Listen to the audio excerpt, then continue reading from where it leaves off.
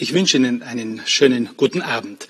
Ja, 60.000 Menschen sind in Südtirol mittlerweile gegen das Coronavirus geimpft. Geplant wäre gewesen, dass wir schon viel mehr Menschen zu diesem Zeitpunkt geimpft haben sollten. Doch das Problem ist der Mangel an Impfstoffen. No, zur Normalität können wir aber erst zurückkehren, wenn wir so eine Art Herdenimmunität haben und das bedeutet etwa 75 Prozent der Bevölkerung müssen geimpft werden. Was aber tun bis dahin? Die Idee lautet Impfpass. Doch nicht alle sind mit diesem Vorschlag einverstanden. Es ist ein Pass, der eine Rückkehr zur Normalität ermöglicht. In Israel wird es seit einer Woche praktiziert. Dort können geimpfte Personen mit ihrem Impfpass wieder mehr Freiheiten haben. Sie können an kulturellen Veranstaltungen teilnehmen, ins Kino gehen oder auch bei Sportevents dabei sein. Sie können auch Fitnessstudios besuchen oder schwimmen gehen. Ein solcher Impfpass wird nun auch von den Regierungschefs der EU gefordert, denn er wäre vor allem für die Tourismuswirtschaft eine wichtige Perspektive. Menschen könnten endlich wieder verreisen und die Staatsgrenzen könnten geöffnet werden. Doch so leicht ist die Umsetzung nicht, vor allem wenn der Impfstoff knapp ist und es Prioritätenlisten gibt. Demnach kann nicht jeder Bürger selbst wählen, ob er sich impfen lässt und damit mehr Freiheiten bekommt. Gleichzeitig sagen Kritiker, dass ein Impfpass einem indirekten Impfzwang gleichkäme. Sogar von einer Spaltung der Gesellschaft ist die Rede. Pro und Contra fragt, ist ein Impfpass die einzige Möglichkeit zur Rückkehr in die Normalität? Wie soll das funktionieren, wenn sich aufgrund der Impfstoffknappheit nicht jeder impfen lassen kann? Zwingt ein Impfpass die Menschen, sich impfen zu lassen und spaltet er damit die Gesellschaft? Ja, der Impfpass ist jetzt Thema und das diskutiere ich einmal mit Andreas Leiter-Reber, dem Freiheitlichen Parteiobmann und Landtagsabgeordneten und mit Julia Unterberger, der SVP-Senatorin und Vorsitzenden der Autonomiegruppe im Senat. Danke Ihnen beiden für die Teilnahme. Schönen guten Abend. Guten Abend. Frau Unterberger, Sie haben sich vergangene Woche schon als Befürworterin ausgesprochen dieses Impfpasses. Warum denn? Ja, die Impfungen sind ja die große Chance, damit wir wieder zur Normalität zurückkehren können. Und ich verstehe nicht, warum man nicht das Potenzial derjenigen, die bereits geimpft sind, nutzen kann, um zumindest denen eine Rückkehr zu, zu ihren Freiheitsrechten zu gewährleisten, um im Tourismus zu gewährleisten, äh, dass sie in den Urlaub fahren können. Ehrlich gesagt verstehe ich das äh, Argument nicht ganz, dass man sagt, ja, weil ich noch nicht geimpft bin, müssen alle anderen auch zu Hause bleiben und warten, und wir müssen warten, bis alle geimpft sind. Ich sehe das nicht so. Ich glaube, dass wenn einmal 30, 40 Prozent der Bevölkerung geimpft ist, dann kommt es allen zugute, wenn die verreisen können, wenn die sich frei bewegen können, wenn die die Wirtschaft ankurbeln. Das bedeutet für uns alle, dass wir weniger Steuergelder investieren müssen, um Ausgleichszahlungen zu machen. Und deswegen ist es eine Situation, wo alle dazu gewinnen.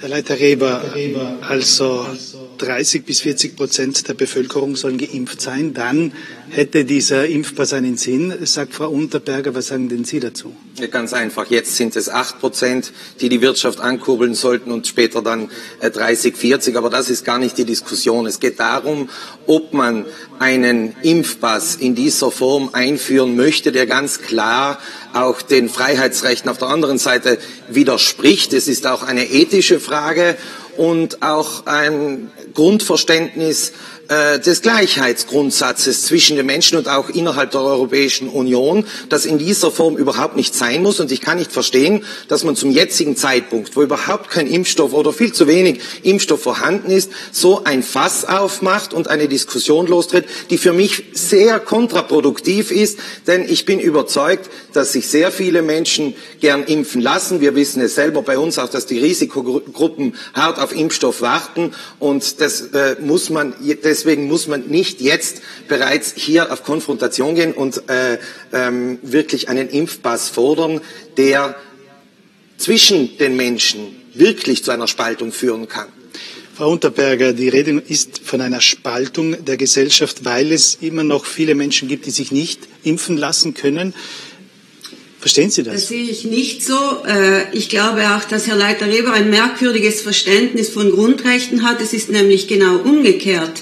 Wie, wie kann man begründen, dass man einem Menschen, der nicht mehr ansteckend ist, der für sich selber keine Gefahr mehr darstellt, die Freiheitsrechte beschneidet?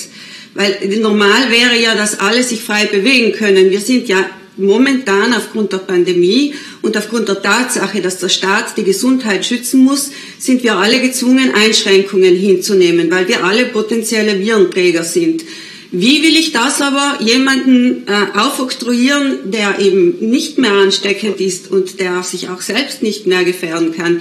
Der Gleichheitsgrundsatz, den der Herr Leiter Reber immer wieder zitiert, hat mit dem überhaupt nichts zu tun. Das ist Artikel 3 der Verfassung, der sagt, dass niemand aufgrund seines Geschlechts, seiner politischen Orientierung, sexuellen Orientierung und so weiter äh, diskriminiert werden kann. Natürlich können unterschiedliche Situationen in der Gesellschaft anders oder unterschiedlich behandelt werden. Ansonsten könnt, müssten ja alle gleich viel Steuern zahlen. Ansonsten wäre es ja schon ungerecht, dass jemand in einer roten und jemand in einer grünen Zone lebt. Also es gibt viele Differenzierungen in unserer Gesellschaft, die aber durch einen tatsächlichen Umstand herbeigeführt werden und nicht durch ein Merkmal der Person. Deswegen ist dieses Zitat des Gleichheitsgrundsatzes völlig fehl am Platz. Frau Unterberger, äh, Sie haben äh, davor gesprochen, äh, dass Israel, oder Sie haben Israel erwähnt als, als Beispiel. Nun äh, befinden wir uns aber weit entfernt von den Durch Durchimpfungsraten, die Israel hat. Nur um zu sagen, also 55 Prozent der Menschen in Israel haben mindestens eine Impfdose erhalten. Italien liegt da bei 4,9 Prozent, Südtirol bei 11 Prozent, wie Landesrat Wiedmann gesagt hat. Da brauchen wir noch lange, um diesen Standard da zu erreichen, oder nicht? Also die Präsidentin der EU-Kommission von der Leyen hat gesagt, sie möchte, dass äh, bis zum Sommer 70 Prozent aller EU-Bürger geimpft sind. Ob ihr das gelingt, weiß ich nicht. Aber äh, der Impfpass, in diesem Impfpass ist ja nicht nur enthalten, ob jemand geimpft ist, sondern auch, ob er immun ist aufgrund von einer bereits bewältigten Krankheit und zum Dritten kann man sich auch testen lassen und das Testergebnis in diesen Impfpass eintragen lassen. Das heißt, wenn jemand äh, verreisen möchte und noch nicht die Möglichkeit hatte, äh, sich zu impfen oder, oder ähm, sich nicht impfen will, dann kann er sein Testergebnis da eintragen lassen und praktisch die gleichen Maßnahmen über sich ergehen lassen, äh, wie, wie es halt jetzt ist. Deswegen sehe ich auch nicht äh, die große Benachteiligung. Herr Leiter Reber, keine Benachteiligung für die Menschen, also im Urlaub wird ein Teil äh, im Sommer wird ein Teil in Urlaub fahren können, bei weitem nicht alle. Ist das nicht ausreichend? Ja, ich möchte nur ganz kurz zu Frau Unterberger noch sagen, wenn Sie meinen, äh, meine Vorstellung des Gleichheitsgrundsatzes kritisiert oder nicht versteht, äh, soweit kann ich ja noch folgen. Aber die Resolution des Europarates müsste Frau Unterberger ja auch kennen. Und da sind die zwei Artikel, das ist ja erst ganz aktuell am 27. 27. Jänner äh, präsentiert wo der Europarat ganz klar sagt, es ist sicherzustellen in den Mitgliedstaaten, dass die Bürger darüber informiert werden, dass die Impfung nicht verpflichtend ist und dass niemand politisch, sozial oder anderweitig unter Druck gesetzt wird, sich impfen zu lassen, wenn er dies nicht selbst tun möchte. Und zweitens sicherzustellen, dass niemand diskriminiert wird, weil er nicht geimpft wurde aufgrund von möglichen Gesundheitsrisiken oder weil er sich nicht impfen lassen will. Und was wir hier dann haben, ist aber eine Diskriminierung, wenn ich als nicht geimpfter Vorteile und Freiheiten genießen kann, unter anderem nicht. Und das sagt der Europarat. Und wie gesagt, ähm, ich befinde mich hier in guter Gesellschaft. Ähm, zum Urlaub selbst. Wir haben es im vergangenen Jahr ja auch gesehen und mittlerweile geben uns ja auch die weltweiten Studien recht, äh, dass es äh, ja auch bei Corona eine sogenannte Wintersaison gibt, wo es ansteigt. Wir haben äh, im letzten Jahr einen relativ unbekümmerten Sommer genossen und wir haben ja auch gesehen, dass die Todeszahlen und die Infektionszahlen im Sommer stark zurückgegangen sind. Die WHO hat in der letzten Woche berichtet, dass weltweit in den letzten sechs Wochen sich die Todeszahlen halbiert haben. Also die Situation weltweit ist viel, viel besser. Wir sind auf einem guten Punkt. Wobei man jetzt ja auch für den heurigen Sommer, zum Beispiel Mallorca macht das ja gerade, die bereits schon äh, darüber reden, dass man sagt, mit einem Test, mit einem normalen Test, 48-Stunden-Test, kann man einreisen und fertig, das war's. Also wenn ich Sie da richtig verstehe, dann sagen Sie, die bessere Lösung ist, man erhöht die Testmöglichkeiten. Ich warne einfach davor, alles auf die Impfung zu setzen und nicht alle Möglichkeiten äh, mit einzubeziehen und vor allem auch die Antikörper. Da bin ich übrigens voll bei äh, Frau Unterberger, dass man die Immunität und die natürliche Immunität viel mehr einbauen muss. Leider im Landtag wurde das abgelehnt hier in Südtirol, dass wir auch die natürliche Immunität, berücksichtigen. Man geht ja davon aus, dass bei uns mittlerweile 66.000 Personen bereits äh, Corona durchlaufen haben und alle in einem bestimmten Ausmaß immun sind. Und wenn man dann die Impfungen reduziert und die Personen auslässt, kommt man auch schneller weiter, äh, um höhere Impfzahlen zusammenzubekommen. Denn die Leute oder viele Menschen warten ja. Frau Unterberger, äh, es ist logischerweise die Rede davon, äh, dass der Tourismus profitieren Landtag eingebracht hat, wo er einen Immunitätsausweis fordert. Jetzt praktisch sagt er, äh, jemand, der die Krankheit gehabt hat und dadurch immun ist, da kann man differenzieren, da gilt das alles nicht, dass andere diskriminiert werden und so weiter. Nur die Impfungen darf man nicht eintragen.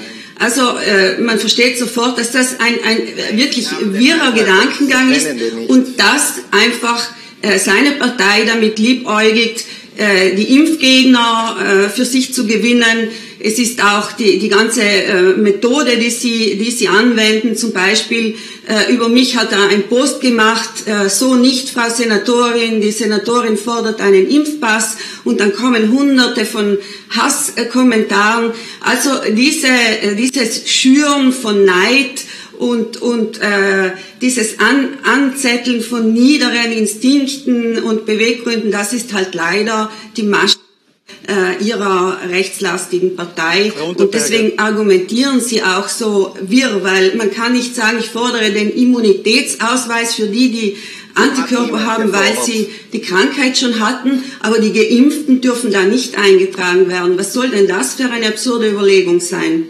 Na, äh, Frau Unterberger, Sie verreiten sich hier völlig. Sie kennen weder den Antrag, der im Landtag präsentiert worden ist. Da ging es darum, die Menschen aufzuklären, auch über die natürliche Immunität. Das ist etwas, das wir zum Beispiel auch gesehen haben, dass wir in Südtirol angefangen haben zu impfen und die die Kampagne dazu, die Aufklärung der Bevölkerung, die eigentlich zwei, drei Wochen davor starten hätte müssen, ist zwei Wochen danach gestartet.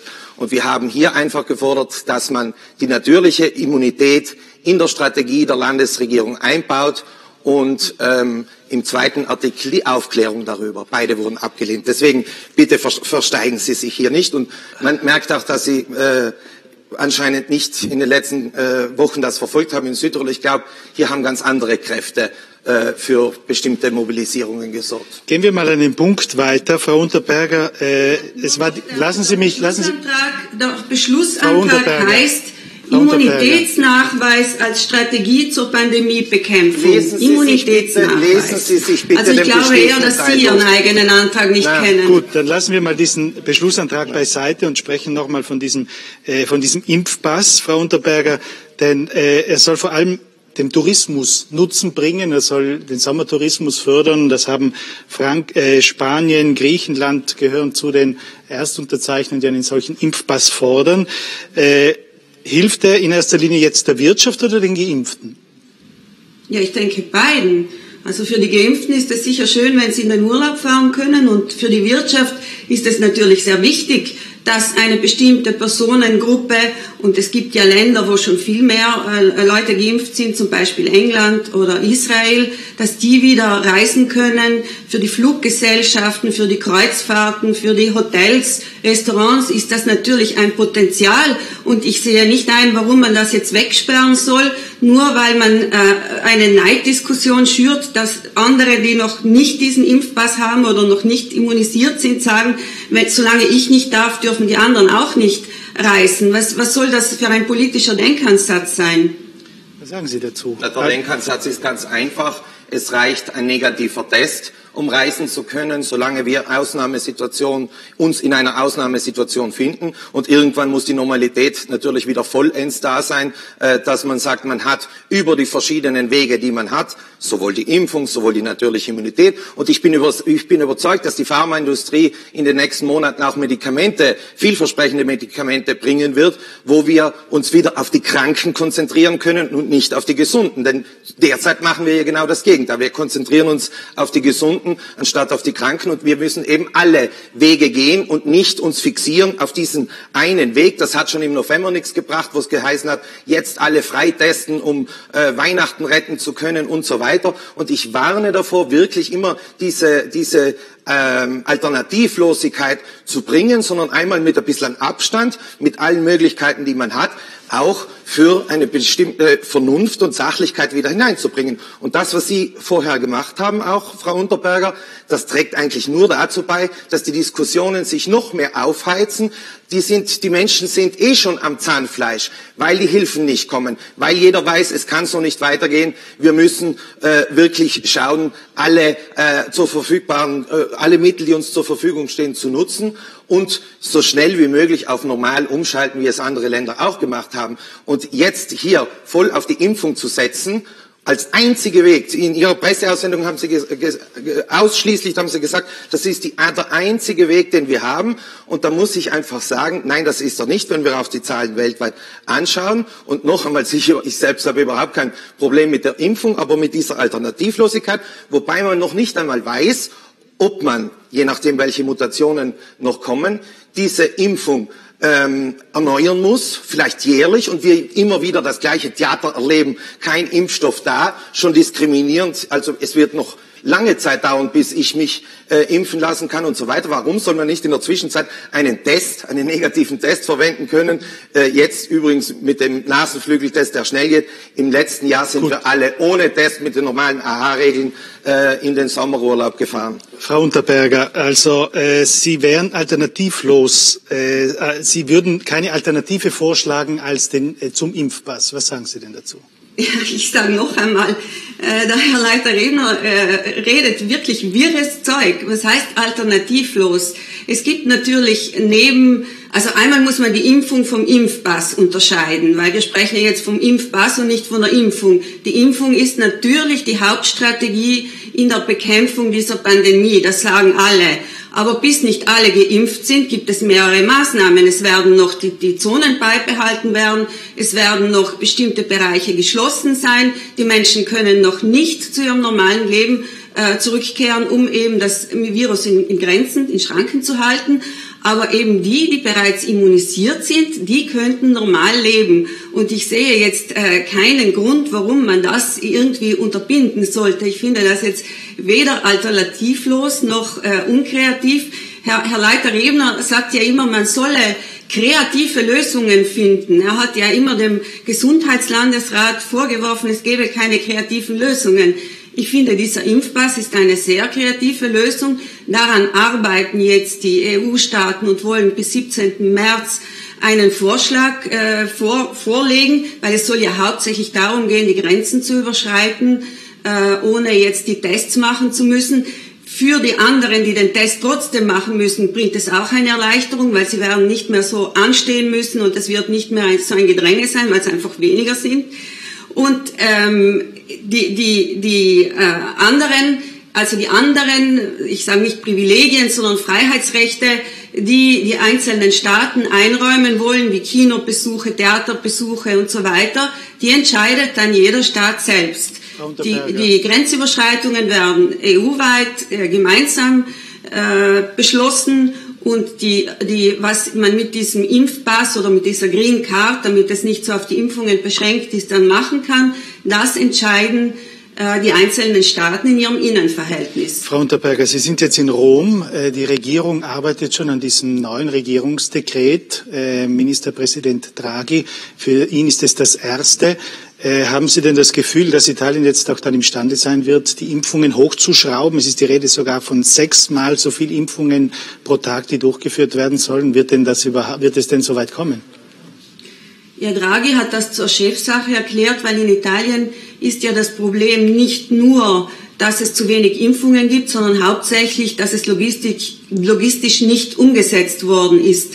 Deswegen hat er jetzt äh, den Kommissar, der für das zuständig war, den Herrn Akuri, ausgetauscht, möchte das Heer mit einbeziehen, die Hausärzte mit einbeziehen und äh, will wirklich eine Impfoffensive machen. Ich muss sagen, wir in Südtirol waren eine der fleißigsten Provinzen. Wir haben schon äh, über 80 Prozent des Impfstoffs aufgebraucht. Für uns wäre es eher das Problem, dass wir mehr Impfstoff bekommen müssten. Aber auch hier setzt sich jetzt Draghi ganz vehement in Europa ein, dass die Pharmakonzerne die Lizenzen zur Produktion des Impfstoffes verkaufen müssen, weitergeben müssen, dass neue Produktionsstätten in ganz Europa geschaffen werden.